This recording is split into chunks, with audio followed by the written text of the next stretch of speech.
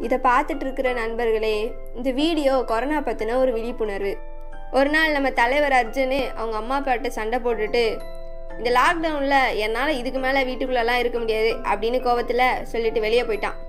மதியம் மூணு மணி போல் அவன் ஃப்ரெண்ட்ஸ் எல்லாரும் கிரிக்கெட் விளையாட ஆரம்பித்தாங்க அப்புறம் மேட்ச் முடிஞ்சிச்சு. கை கால் எதுவுமே கழுவாமல் வீட்டில் வந்து அப்படியே தூங்கிட்டான் இந்த அர்ஜுனு. அடுத்த நாள் காலையில் அவனுக்கு ஒரே காய்ச்சல். இவனுக்கு காய்ச்சல்னால இவங்க அம்மா தான் இவனை கவனிச்சாங்க. ரெண்டு நாள் கழிச்சு இவனுக்கு சரியாயிட்டு அடுத்த நாள் இவங்க அம்மாவுக்கு ஒரே காய்ச்சல். மூச்சு விட முடியாமல் ரொம்ப கஷ்டப்பட்டாங்க. இதை பார்த்துட்டு இருந்த அர்ஜுன் அப்பா உடனே அவங்க ஒய்ஃபை ஹாஸ்பிட்டல் கூட்டு போனாங்க. அங்கே போய் செக் பண்ணதில் டாக்டர் சொல்லிட்டாரு இவங்களுக்கு கொரோனா அப்படின்ட்டு. இவங்க சீரியஸான கண்டிஷனில் இருக்காங்க அப்படின்னு சொல்லி ஐசியூவில் வச்சுருந்தாங்க. அப்போ அந்த அர்ஜுன் கண்ணில் இருந்து கண்ணீர் வந்துச்சு.